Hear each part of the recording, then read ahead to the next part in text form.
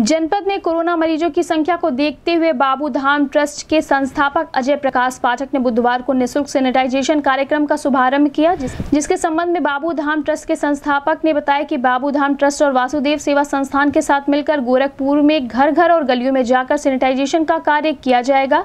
इस महामारी को भगाने में सरकार और प्रशासन की मदद करेंगे। इस संबंध में गोरखपुर न्यूज़ से बात करते हुए बाबू ट्रस्ट के संस्थापक अजय प्रकाश पाठक ने कहा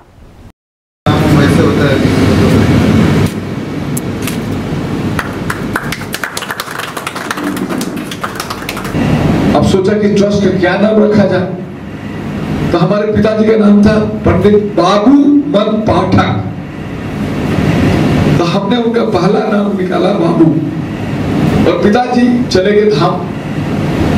बाबू धाम और ट्रस्ट एक संस्था, इसलिए इसका नाम पड़ा है बाबू धाम ट्रस्ट तो हमारा घर सोचिए कि एक अस्पताल सा रहता था। लोग केवल गरीबों की सेवा करने के भगवान ने आशीर्वाद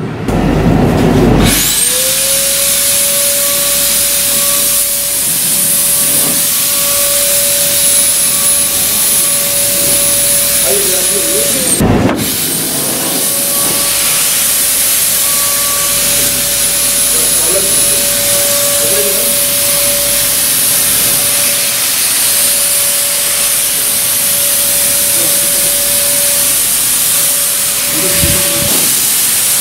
ये कार्यक्रम जो है, ये निशुल्क सैनिटाइजेशन का कार्यक्रम है। बाबू धाम ट्रस्ट और वासुदेव सेवा संस्थान मिलके इस कार्यक्रम को कर रहा है। और इस कार्यक्रम में हम लोग निशुल्क घरों का सैनिटाइजेशन और अपने गलियों का, उसका सैनिटाइजेशन करने का हम लोगों ने इसको प्रण लिया है।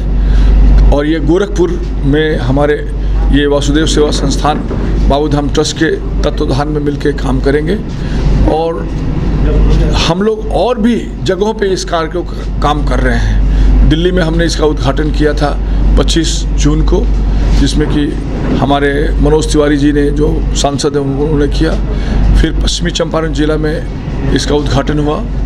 छः जगह पे, और वहाँ लगातार चल रहा है। फिर बनारस में इसका उद्घाटन किया, फिर इसका रोहतक में हुआ, फिर आपका गुड़गांव में हुआ, और ये पूरे पूर्वांचल ज़िले के जो ये सेवा, वासुदेव सेवा संस्थान मिलकर के सारे जितने भी डिस्ट्रिक्ट्स हैं, उसका उद्घाटन, उसका सैनिटाइजेशन करेंगे।